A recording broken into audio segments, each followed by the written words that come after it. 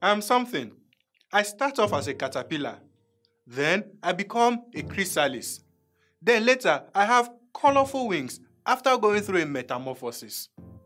What am I? I'm a butterfly. Did you guess the correct answer? The process just described is called a transformation. In this lesson, we shall be looking at geometric transformation. Transformation is the process by which a figure is changed into another one of similar value. Just like our butterfly, when the properties of a shape changes, we say it is transformed. This is a right-angled triangle, and this is the result of transforming the shape. Transformation is a result of mapping between two shapes. I know you are thinking about maps from your geography class.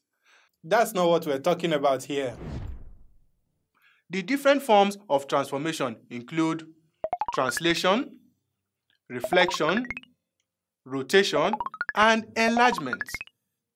In this lesson, you have been introduced to transformation and how it is done. In subsequent lessons, we shall look at the various forms of transformation in depth. See you around.